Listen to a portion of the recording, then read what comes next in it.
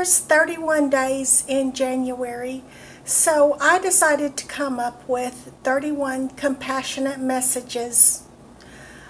I was having a hard time choosing as to whether I was going to call these affirmations, reassurances, pick me ups, encouragements, or compassionate messages.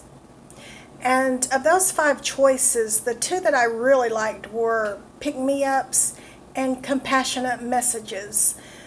So I did decide to go with compassionate messages. And I made these for other people just as much as I made them for myself. So I hope that these help somebody, even if it's only one person five years from now, someone that's passing through and just happens upon these, if they can help just one person, give one person the encouragement they need, the upliftment that they need, then they will have been worth it. I feel that this is my calling to help other people in this way. So that's what my mission is.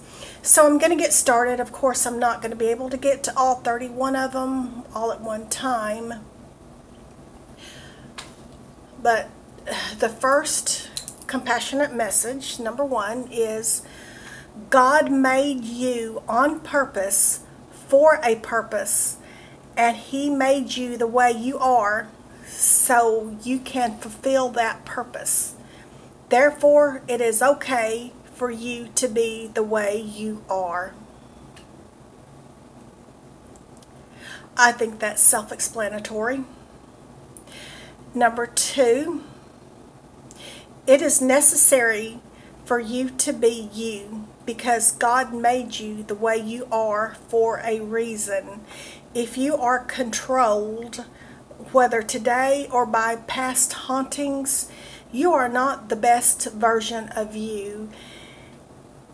And this hits home for me because I know for the majority of my life I was controlled, whether I was being controlled in the moment or whether it was after the fact, and I was still being haunted by my past and I was still being the way that I was being controlled in the past.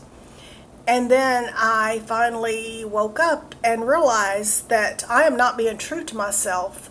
I am not being me. I am being the person somebody else wanted me to be. So, like I said, that one really hit home for me. Number three, there is not never has been, and never will be another you. So you need to be you to the fullest because we will never have you again. We will never have another you. And this really hits home when someone dies. We know that there's never going to be another one of them And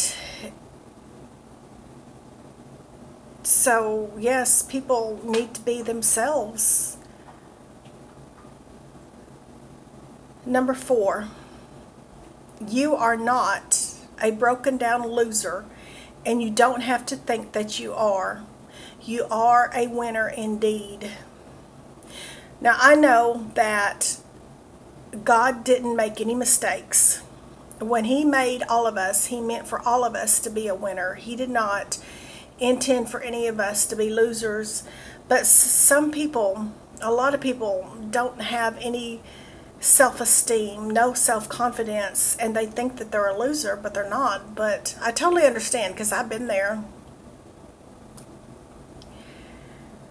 But yes, you are a winner indeed, whether you know it or not, or whether you believe it or not.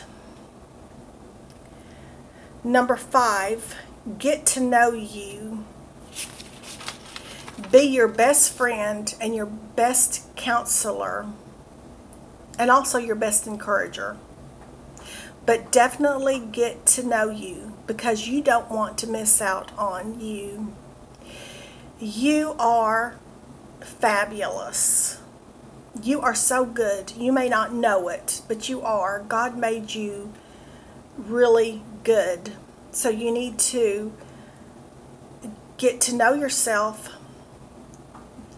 get to know that awesome person, that wonderful person that God made, and just start being you. And that's all for today because this is getting long and I will continue on with number six in the next video. Talk to you later.